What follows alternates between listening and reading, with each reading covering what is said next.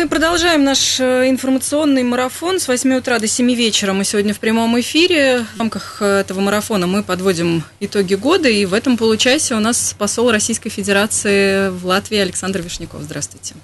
Добрый день. Михаил Губин по-прежнему в студии. Да, и Екатерина Сафронова тут же, и наш звукорежиссер Евгений Копейн тоже пока с нами. Да, 672-12-93-9, 672-13-93-9, телефоны прямого эфира. Вы можете нам звонить, задавать свои вопросы. Мы подводим итоги года. Ну и э, понятное дело, что вот в этом получасе мы говорим такие международные темы, в частности, в основном, конечно же, латвийско-российские отношения. Вот, господин Вишняков, скажите, латвийско-российские отношения, если смотреть на уходящий год, как они развивались? Ну, если оценивать в конце уже уходящего 2013 года наши российско-латвийские отношения за год ушедший, за год уходящий, то я думаю, что можно по пятибальной системе поставить оценку 3 с плюсом. Ну, это неплохо, кстати, совсем. Это неплохо, потому что... Удовлетворительно, говоря Да, если Даже перевести э, уже язык цифр на слова, то это действительно удовлетворительно с плюсом получается. И это лучше, чем в прошлом году. В прошлом году я давал оценку 3. Просто удовлетворительно. Э, почему я говорю о такой оценке? Ну, во-первых, у нас есть, как и в прошлом году, ряд позитивных вещей.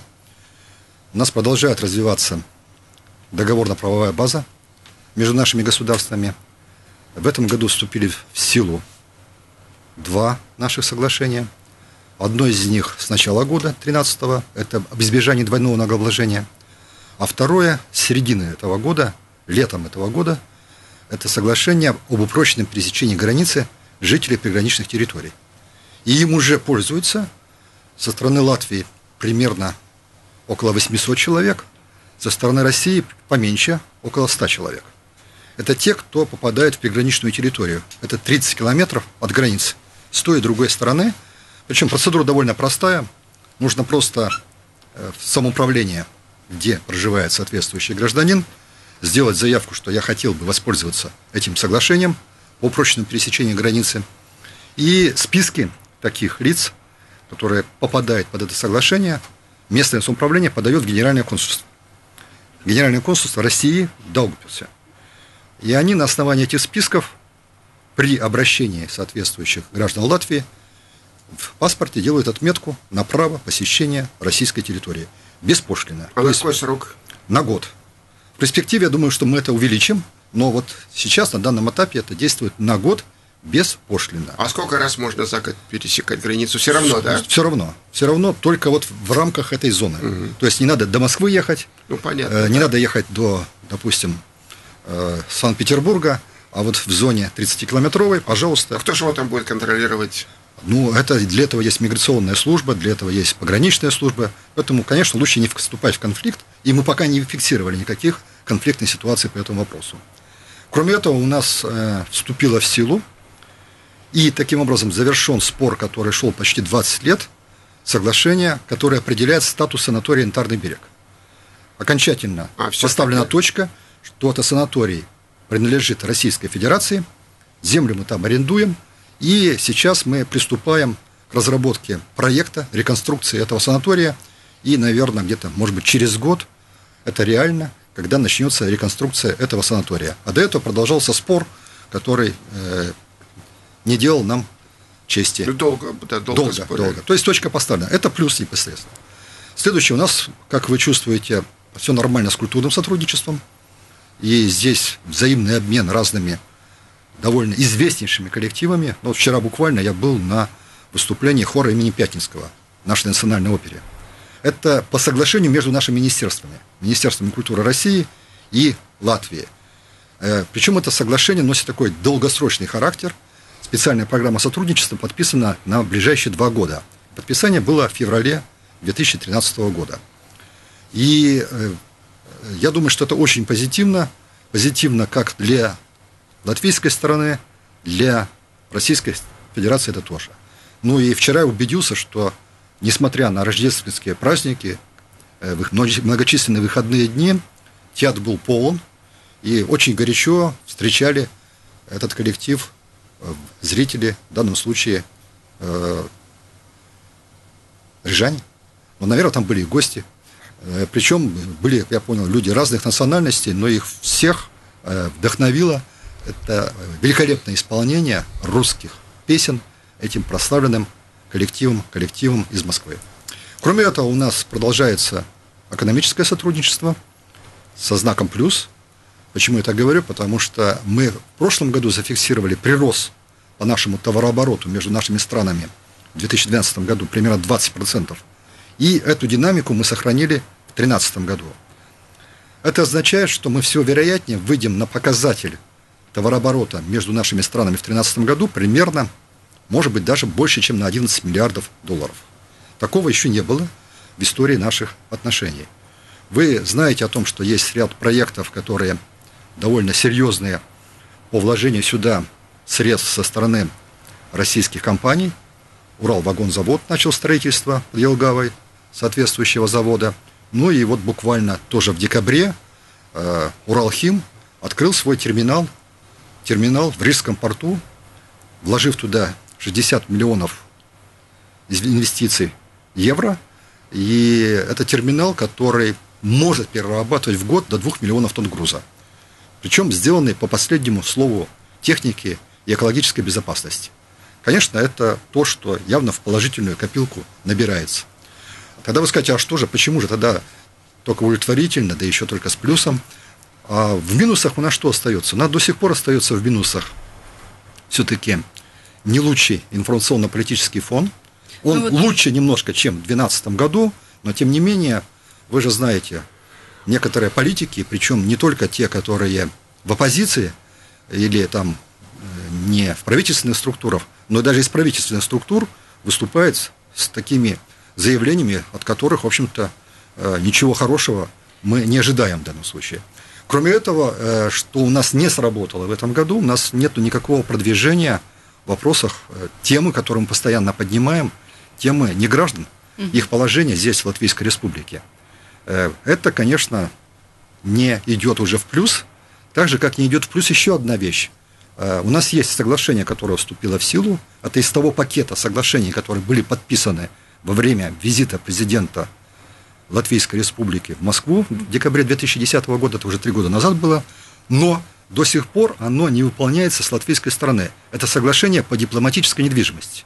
У нас должно два объекта здесь, в Риге, быть передано нам для того, чтобы мы могли его использовать для наших дипломатических целей но они не готовы с латвийской стороны для передачи нам. Поэтому, естественно, это не как является, не является плюсом. Ну вот ну, комиссия историков уже работает, которая в том же, тогда же было заключено соглашение в 10 ну, Вы правильно году. меня дополняете в данном да. случае. То есть то, что в позитив можно записать еще и то, что комиссия историков работает, состоялось очер... очер... очередное заседание состоялось 5 декабря, обсуждалась тема Первой мировой войны и становления латвийского государства собираются выпускать сборник документов. Да, и э, именно на этом заседании обсуждалась готовность публик, опубликования материалов, которые были предметом обсуждения на прошлом заседании, еще в прошлом году здесь, в Риге. Это межвоенный период. И насколько я понимаю, что в основном этот материал уже почти готов для опубликования. Но есть ряд нюансов, которые сейчас должны представители той и другой стороны, ученых, историков и российских, и латвийских, доработать. И я надеюсь, что в будущем 2014 году такой материал будет опубликован. То есть это будет уже публичное представление их труда, который они наработали за этот период. И следующее заседание комиссии историков намечено на будущий год здесь, в Риге. И тема будет ну, особенно актуальна. Это тема Первой мировой войны. Как раз к столетию. Ну, э, не Первой мировой войны, я говорился, Первой мировой войны, Второй мировой войны. А, второй, второй ну, мировой войны, да, Второй да. мировой. Причем э, историки думали, что они уже вот на заседании в Москве эту тему сейчас начнут обсуждать. Но когда окунулись в всю проблематику, которую они взялись обсуждать, и Первая мировая война, и становление государства латвийского, и Вторая мировая война, они поняли, что это невозможно в одном заседании. Поэтому было разведено, что Вторая мировая война – это следующее заседание здесь, в Латвии, в Риге в будущем году. И всего вероятнее, может быть, не вся мировая война, она тоже будет разделена по этапам каким-то. Потому что это самая серьезная тема, которая будет предметом обсуждения комиссии историков в ближайшее время. Ну вот еще завершение года ознаменовалось такими некими противоречиями между нашими странами и, может быть, Евросоюзом в целом размещение комплексов «Искандер» в Калининградской области, вот на нападки наших властей на Россию, достаточно жесткие ответы э, вашего Некое президента. Да, такое. обществе. Вот это как-то отразится на наших отношениях или все это... Ну, э, вообще говоря, пока волноваться-то не о чем, по большому счету. Э, волноваться надо вообще э, под, э, поэтому просто по-другому. Ведь мы в свое время говорили, не надо разворачивать противоракетную оборону, которую лоббирует и проводит в жизнь Соединенные Штаты Америки вместе со своими коллегами по НАТО. Причем ставя цель защититься от кого? Защититься от Ирана. Да. Так? Так.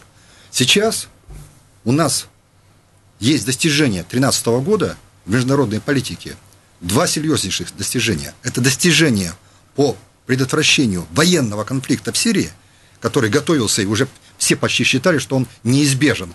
Тем не менее, объединенными силами России, Соединенных Штатов Америки, Евросоюза удалось перевести это все в мирное русло и дипломатическими методами разрешить те проблемы, которые по Сирии хотели решать военным способом. Помните эту историю, да? И вторая тема – это тема по ядерной программе Ирана – по которой тоже наметился серьезный прогресс с точки зрения разрешения и этой проблемы не путем военных действий, а путем соответствующих соглашений, соответствующих договоров.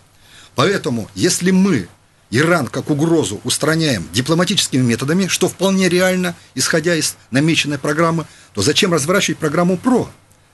Возникает вопрос. И в то же время, если она будет разворачиваться, то тогда Россия оставляла за собой право давать какие-то ответы адекватные, защищающие свои национальные интересы. И Искандер – это одна из возможных, один из возможных сценариев. Но, как заявил президент Российской Федерации Путин Владимир Владимирович, мы пока такого решения не приняли. Но оно может наступить, но только в ответ на действия другой стороны. Стороны, которая хотела бы развернуть противоракетную оборону. Посол Российской Федерации в Латвии Александр Вишняков у нас в этом получасе. У нас есть телефонный звонок, одевайте наушники. Алло, здравствуйте. Здравствуйте, можно вопрос задать? Да, пожалуйста. Э, консул, да? Да, послу, послу Российской, Российской Федерации. Федерации. Да, э, да. Э, дело в том, что э, я очень люблю э, и латышей, и русских всех национальностей, но э, ну, в рождественский вечер, когда я вижу в Делфи такой, что господин Йоселникс выпекает из пипер-кука с э, теста э, сластику и вешает на елку. Меня настолько это возмутило. Как вы прокомментируете это, пожалуйста? Я солидарен полностью с вами, меня это тоже возмущает, но с другой стороны, э, делать трагедию из отдельной личности, которым является этот господин, я бы не стал. Есть еще один Давайте телефонный звонок. Алло, здравствуйте. Добрый день. Господин посол, хочется вас поздравить э, искренне большой радостью с наступающим Новым годом. И мне, как латвийке, э, также хочется заметить насчет проблемы неграждан. Она есть не только больная голова у местной власти и у России. Она, эта проблема не была решена в лице правительства э, Бориса Ельцина. Когда происходил вывод войск отсюда, с территории Латвии, то политический статус русскоязычного населения не был определен намеренно со стороны власти Бориса Ельцина. И вот эта проблема сейчас, она висит. Но не только, как говорится, на больной... Прервалась. Прервалась Да, ну я понял вопрос. Да. Спасибо, во-первых, э, уважаемые радиослушательницы, за поздравления. Тоже примите, пожалуйста, и вы, и все остальные радиослушатели мои поздравления и с Рождеством, и с наступающим Новым годом, и с пожеланием, прежде всего, добра, мира, согласия и удачи в каждом доме. А что касается темы, которую вы обозначили, я уже тоже со своем вступительном слове ее обозначил, мы ее не снимаем с повестки дня. Я бы, например, не мог согласиться с тем, что она как-то умышленно была в свое время Россией и президентом, первым президентом Российской Федерации как-то не э, обозначена и не решалась. Здесь э, можно, конечно, говорить сегодня уже в 2013 году, что можно тогда было предусмотреть тогда более решительные действия, более какие-то обязательные обязательства по этому поводу. Но э, я хорошо помню те, э, так сказать, диалоги, которые тогда были, которые я ознакомился, когда ехал сюда работать чрезвычайно полномочным послом, и смею вас уверить, что никогда этот вопрос Российской Федерацией не снимался с повестки дня, и то, что мы его, к сожалению, до сих пор не решили, это, конечно, плохо. И я надеюсь, что латвийская сторона прежде всего должна быть заинтересована в решении этой проблемы, потому что нерешение этой проблемы ведет к расколотости в обществе. А расколотое общество – это всегда большая беда и проблема для государства. А давайте еще вот поговорим все-таки немножко о вас, о личном. Что вот было да, у может вас быть, в этом не только году? об не отношениях латвийско-российских, может быть, какие-то личные достижения, личные достижения вашей семьи, может быть, то, чем вы можете гордиться. Ну, конечно, главная работа посла – это все-таки вот сделать так, чтобы наши отношения были лучше, и заслужили более лучшую оценку. Я по этому поводу уже с вами беседовал, и в этой части я думаю, что у нас есть неплохие перспективы, если заглядывать в 2014 год. Почему я так говорю? Потому что все-таки 2014 год – это год э, Олимпиады, а по обычаю древних это год мира и согласия. И я бы очень хотел, чтобы он был действительно годом мира и согласия, Президент а не искрения. И президент э, Берзинш как раз Да, вот, едет. исходя из этого девиза, из этого подхода и э, принял решение о посещении Олимпиады в Сочи. Как вы, кстати, оцениваете вот этот его шаг, что он согласился и, На том и- фоне, и сказал, что, что, что, что отказались многие европейские и политики. сказал, что это не политика, спорт это не политика, и что даже войны прекращались в свое время э, из-за Олимпиады. Я уже на эту тему говорю, что я очень позитивно отношусь к такого рода решениям. И когда вы говорите о том, что на фоне там других э, некоторых руководителей государств он отказывал, он это принял решение, по-моему, еще тогда, когда там единичные случаи Да. только были по этому поводу. И э, я думаю, что это э, совершенно правильный шаг, шаг для политика э, мирового масштаба, я бы так выразился, который мыслит по этому поводу категориями не сегодняшнего дня и не каких-то там сиюминутных политических выгод, а исходя из того, что спорт – это то, что нас объединяет. И Олимпийские игры на протяжении веков доказывали, что они здесь являются посланниками именно мира и согласия. Так давайте не рушить эту конструкцию, и, и которая всегда помогала народам э, решать даже многие проблемы, которые возникали, и не скатываться на, так сказать, терминологию холодной войны, которая, к сожалению, была когда-то в повестке дня между нашими государствами. Э, То есть вот позитив, который я жду, это от Олимпийского Может быть, если- 2014 года. Я позитив жду от того, что это будет год, когда Рига будет культурной столицей. И сюда приедет огромное количество различных коллективов, в том числе из России, показывая свое искусство, смотреть, чем богата культурная жизнь э, здесь, в столице Латвии. И я думаю, это тоже, так сказать, будет работать на позитив. На позитив будет работать и э, предполагаемый визит, для многих долгожданный визит патриарха Московского и всея Руси Кирилла сюда, в Ригу, который ожидается в районе мая будущего года. Визит по приглашению президента Латвийской Республики. Я полагаю, что это то, что наверняка может дать положительное, что может минусы дать. К сожалению, э, минусы у нас иногда дают политические события. А политические события будущего года – это выборы сначала в Европарламент, а потом выборы еще и в Сейм 4 октября. И, к сожалению, иногда во время выборов некоторая риторика, разжигающая противоречия между нашими странами, активизируется. Я бы очень хотел, чтобы это не происходило Это в будущем году. Тем более, что вот пример года уходящего, 13-го, показал, что здесь уже э, старые клише не всегда срабатывают. Пример э, города Риги. Э, многие прогнозировали, что э, не получится у той власти, которая в Риге была, доказать, что она сможет получить поддержку избирателей и на очередных выборах. Поэтому э, она к этим выборам серьезно готовилась, и в конечном итоге 58 с лишним процентов, поддержав ее, говорят о том, что здесь лозунги «русские идут, давайте русских не пустим опять во власть» сегодня уже не так актуальны для многих, и более того, некоторым уже надоели. Я хотел бы, чтобы это было в том числе и на республиканском уровне.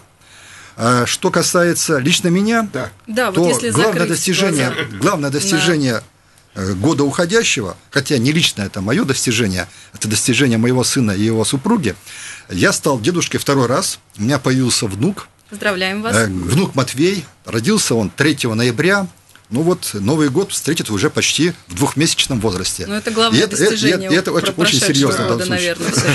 Важнее всех э, латвийско-российских, мне кажется, и национальных, ну, на, на человеческом уровне. По крайней мере, случае.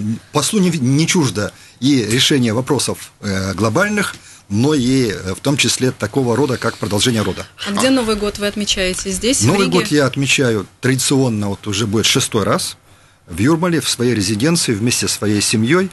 Э, А внук тоже здесь будет маленький? Это, это, как вы знаете, традиционно такой семейный праздник, семейная встреча Нового года. Не, внук такой маленький, что ему еще так далеко летать не надо. Ну, приедет По- поэтому, поэтому все вероятнее я найду возможность, с учетом того, что в Латвии выходные дни до Нового года в основном, а в России, как вы знаете, После. после, Нового года, то, наверное, у меня будет возможность на пару дней побывать в Москве и в том числе поздравить внука с его первым Новым годом. А вы еще не видели внука? Нет, я его видел уже, но поздравить его с первым Новым годом такая возможность откроется только в 2014 году. А, Нам пора заканчивать. Э, У нас э, в этом получасе был посол Российской Федерации в Латвии Александр Вишняков. Спасибо большое, что нашли время э, прийти к нам. Мы тоже поздравляем вас с наступающими праздниками, с наступающим Новым годом, с наступающим Рождеством А православным. скажите вкратце, что вот вы пожи- можете пожелать нашим радиослушателям под конец? Ну, э, из того, что мы с вами говорили, что Да. я хочу пожелать э, народу Латвии, радиослушателям вашего радио. Во-первых, э, чтобы у вас появилось устойчивое правительство. Это очень актуально сейчас. Второе, чтобы вы освоились в еврозоне. Это тоже очень актуально. Третье, чтобы вы достойных избрали на предстоящих выборах. Ну, а самое главное, если тоже спускаться уже от большой политики э, к такому житейскому э, смыслу нашей всей жизни, хочу пожелать всем здоровья крепчайшего, хорошей работы, хороших заработков и успехов и удачи в новом 2014 году, году лошади. И я хочу, чтобы это благородное животное помогло всем в 2014 году уверенно смотреть в будущее и ехать только по прямой. Спасибо, Спасибо. спасибо, вам большое. У нас сейчас новости. Далее мы продолжаем. У нас э, в гостях спортсмен, дзюдоист, э, бронзовый призер Олимпиады 2000 года Всеволод Зеленый и глава общества юристов Айвар Боровков. Оставайтесь с нами.